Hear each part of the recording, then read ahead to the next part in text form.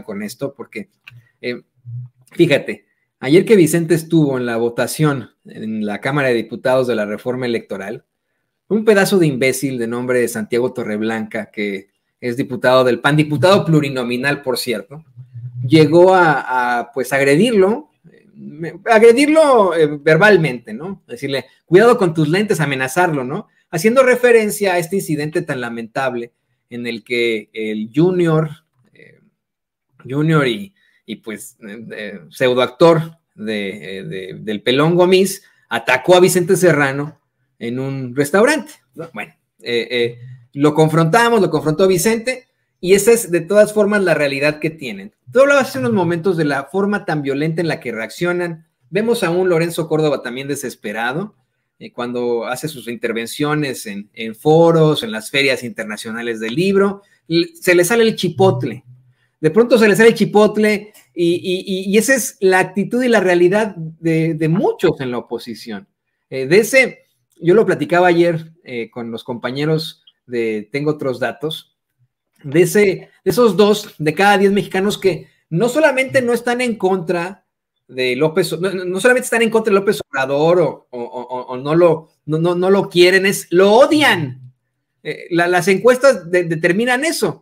Siete de cada diez mexicanos están, aprueban al presidente López Obrador. A uno no le importa y a los dos restantes lo, odian con odio jarocho.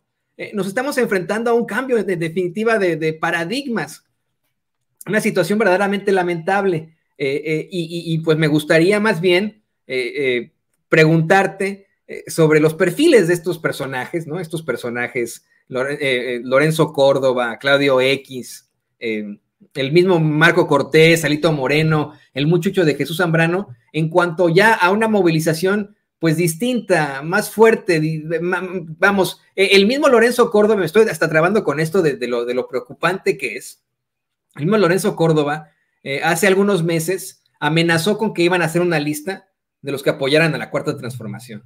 Y que cuando se fuera a la cuarta transformación, entonces sí verían. ¿Tenemos algo que preocuparnos de estos enanos mentales? Sí, pero mira, Toño, recuerdas, es que esa lista, esa lista, recuerda, no la habló él solamente, ya la había tomado, lo había adelantado Claudio X González.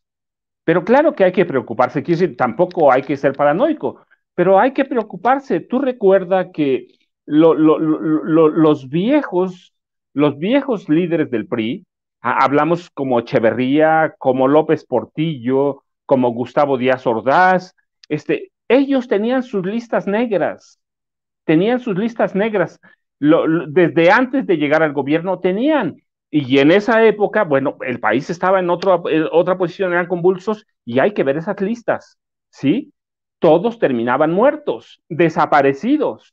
Mira, todavía te voy a confesar algo. Anoche estaba terminando este, un capítulo para, ya te he platicado que el nuevo libro, pero mira, no, te prometo que eh, los primeros meses del año próximo vamos a tener algo, algo bien, porque tengo que entregar mañana, más tardar, las primeras, fíjate, 335 cuartillas del nuevo libro. Pero estaba leyendo cómo López Portillos eh, eh, José López Portillo, este, tenía una lista de, los enemigos de su régimen. Esas listas negras que tenía Echeverría, que tenían ellos, así son, Toño.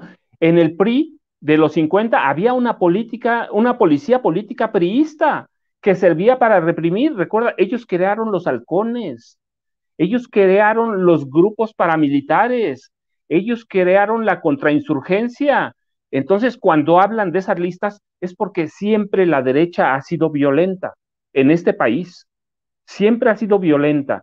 Ellos están de acuerdo en que regresara otro Díaz Ordaz, otro López Portillo, pero mira, este, digo López Portillo porque la verdad era un tipo violento. Era un tipo violento. Estaba leyendo, por ejemplo, mira, todavía en su gobierno se, hubo este, un promedio de 30 vuelos de la muerte en cada vuelo de la muerte viaja, este, desaparecían a unas 10 personas, vivas o muertas las tiraban en, el Océano Pacífico. 300 personas.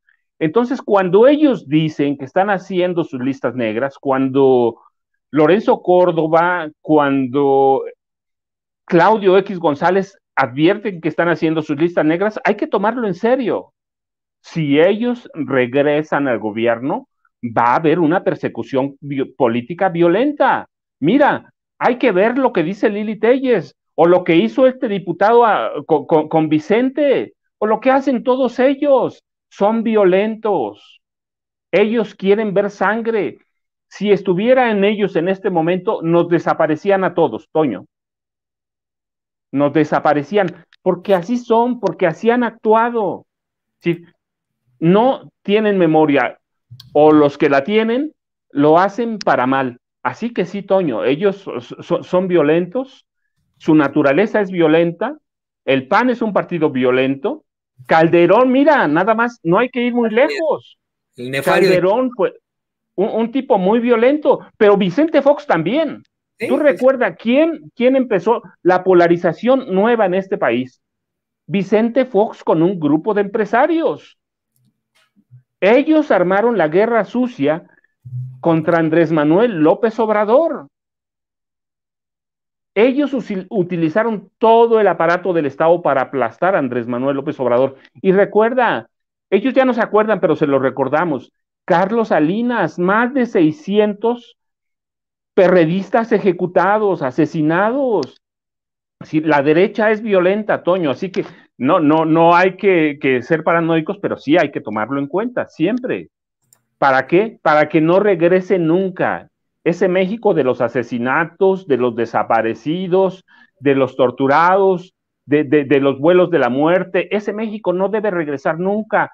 Eh, eh, el México en el que un legislador como Lili Telles, como Cuadri, como el que tú pongas de derecha, usa la tribuna para amenazarnos, ese México no debe regresar nunca, Toño. Ya tuvimos violencia suficiente, pero ellos son violentos, así que sí hay que tomarlo en cuenta, Toño. Lo, lo tenemos que tomar en cuenta rumbo al 2024. Es algo que yo he planteado una y otra vez aquí, eh, querido Paco, a propósito de las elecciones que se vienen el próximo año, que se vienen en el 2024, a propósito de las determinaciones, cómo es que eh, pues no se va a conseguir definitivamente una reforma electoral en este sexenio, ya es un hecho, pero que nosotros como mexicanos podemos cambiar la historia ya en 2024. Y cuando lleguen esos que nos amenazaron, que fueron violentos, que votaron en contra del pueblo, que traicionaron a, a México, que traicionaron a nuestra patria, a pedirnos el voto una vez más, podamos decirles, lo siento, pero se les acabó el 20.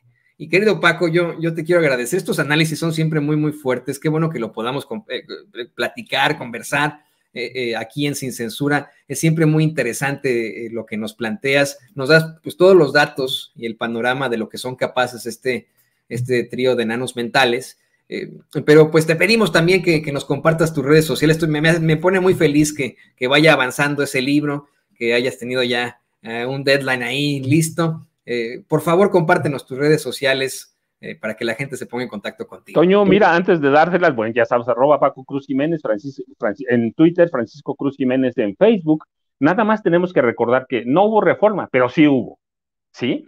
Hay en, en, la, en el plan B que se aprobó en la madrugada en la Cámara de Diputados, hay puntos bien importantes. La primera, el primero, mira, es la supresión de la Junta Ejecutiva, la que controla Jacobo Molina, porque ahí se manejan hasta los fraudes electorales. Ellos controlan a todos los cines del país, o como quieran llamarlo. ¿sí? La supresión de, de las juntas ejecutivas es fundamental. Y luego, tampoco tienen tanto de qué reírse, ¿eh? porque aprobaron la desaparición de algunos fideicomisos, reducir la estructura y ya aprobaron, aprobaron que no se necesita una reforma constitucional para eso aprobaron, ¿qué es lo que le, le aterra a, los consejeros electorales? La disminución de salarios. Así que no se aprobó la reforma constitucional, Toño, pero sí hay una reforma, sí va a impactar y en la entrada el país se va a ahorrar, ya hay cálculos de entre 3 mil y 5 mil millones de pesos. Así es, así es, hay algún, hay, vamos a los asegúnes, inmediatamente después de que, se votara lo que ya se pensaba.